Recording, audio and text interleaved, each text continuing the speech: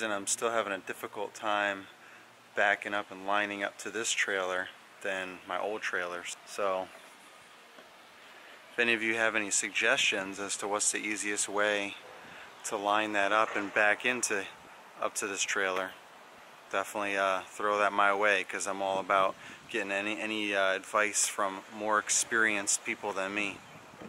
So as you see, I have a new enclosed 7 by 16 trailer. I still need to get it lettered up.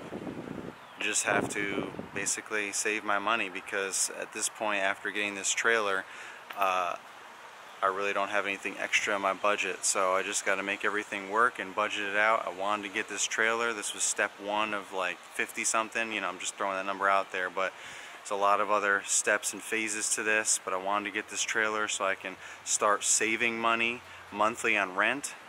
Um, I had that storage unit all the way out, out up there, which was nice because I could just pull up and then back straight up to that with my old trailer. Um, but I was paying over $100 more a month for storage versus this parking spot.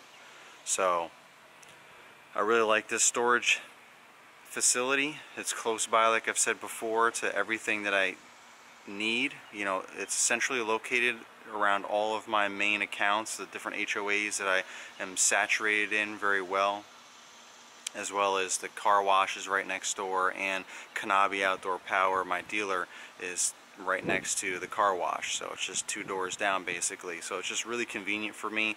I'd rather pay a little extra for convenience. Yes I can get a slightly cheaper parking spot at other places but I'd have to drive further basically out of my way and some of them I'm not really too sure about the location and the safety and uh, the security I mean um, the security of the location itself. And I'm really I just I really feel good about this place as well as the owners are very nice and accommodating. I'm not saying that that wouldn't be the case with some of the other places but I've gotten to know these folks and right from the beginning they were very nice and accommodating. Um, you know they've there's also utilities here that I haven't found at any of the other locations nearby, meaning there's a there's dumpsters that I can dump stuff in, you know, just small stuff like when I'm doing trimming shrubs and stuff, and if there's no woods for me to dump them in the back, um, like some of my clients have, and they're like, yeah, just dump back there. That's what we do with all our stuff, and just start a compost pile. Um, if they don't have that and I have to actually bag it and take it away, then I can just throw those couple of bags in the dumpsters here, just like I would do at my house or whatever. Um, but this way I can just take it back here and just dump it right in there, no big deal. As long as I'm not putting giant limbs and stuff in there, they don't care. As long as it's bagged, whether it's grass, leaves, um, you know, shrub trim, shrub clippings, whatever, it doesn't really matter. As long as it fits in a bag and you throw them in there, as well as any other garbage that I might have and accumulate I can throw it in there. I don't have to worry about taking it home all the time and throwing it in my own personal dumpster. They have water here which is key. They approved with their corporate that I can actually um, use their water to fill up my spray tanks backpack sprayer the tank for my um, the 26 gallon tank I have that I put on my grandstand. So all those things come in handy and they're things I don't have to worry about well where do I get access to these things so anyway, back to that, back to the trailer. There'll be more to come. Just wanted to, you know, I've been talking, posted it, posted it on Instagram, kind of threw some stuff out there here and there, but I really didn't want to reveal the trailer until I got it lettered up so that it was like 100%, but you know, it's been a while now since I've had the trailer. I'm happy with it so far, definitely impressed, um, but there's a lot of work inside needs to be done. You know, as you know, you get a trailer empty, and then you just have to do what you got to do set it up the way you want to custom. So so I drove to Roanoke three hours to Roanoke to get this trailer um, and then I drove back three hours. I was there for a little while because they had to do some things they were real busy or whatever so I couldn't just like literally pick it up pay for it pick it up and leave. I was there for probably another hour and a half to, to two hours actually Picked up a couple other accessories, you know, I had to get a new hitch ball, 2 and 5 eighths, it was bigger for this trailer. My old trailer, my 5x10 open trailer needed a whatever 2 inch 2 inch ball I think. Um, so it was a lot smaller so I needed to get a bigger ball so they installed that for me real quick.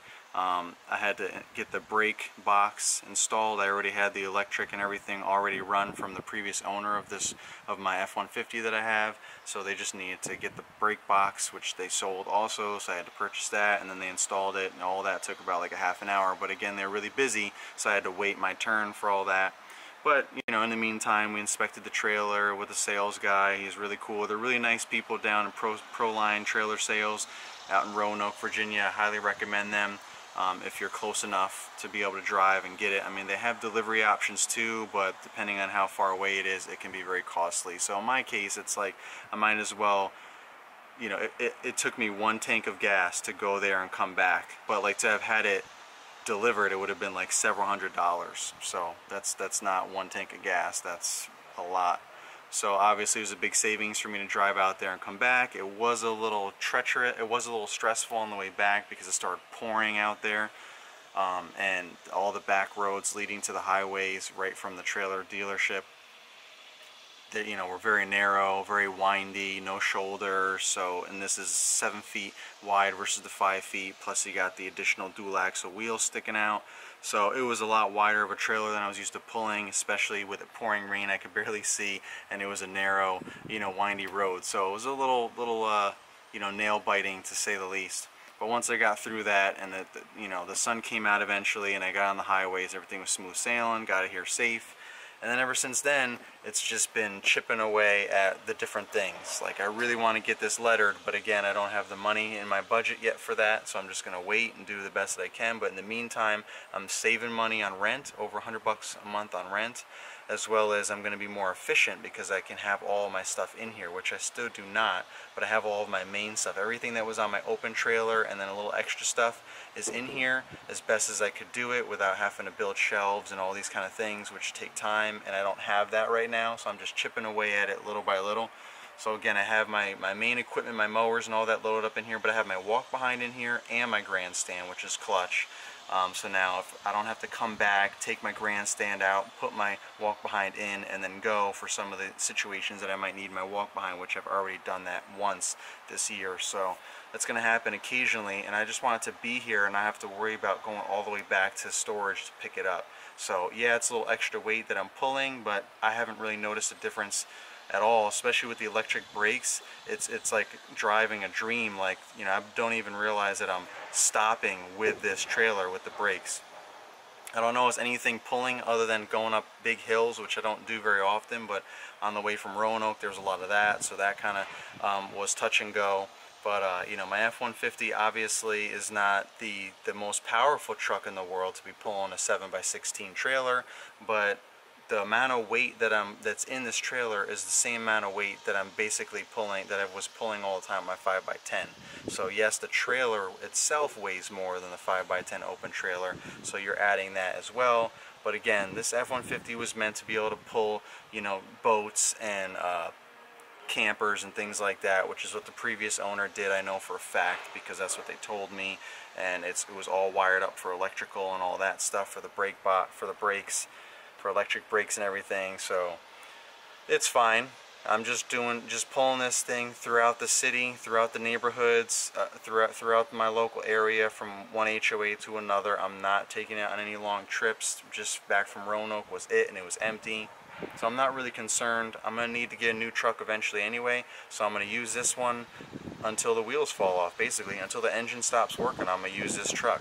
I don't need a new truck yet so I'm not gonna be worrying about it I'm just going to keep saving, keep different accounts with different emergency funds, and use what I need when I need it. And that's it. When I need a new truck, I'll get a new truck. But for now, I'm going to focus on other things like this trailer and getting this all set up because this is an investment for me to grow into little by little. Um, so yeah, so I've just been piecing everything together. There's a lot of stuff that I want to do inside. I'll show you guys that in, in another video, where I've gotten to so far. I've, again, put some stuff on Instagram, given some quick little sneak peeks. Um, some new stuff has happened since then, um, but I do want to get it done as quickly as possible because I'm anxious to have everything running 100% so that I can just be super efficient. Just get in the trailer, grab what I need to go, and get out, and so on and so forth, and not have to move things around too much and stuff like that. So that's all work in progress. Stay tuned.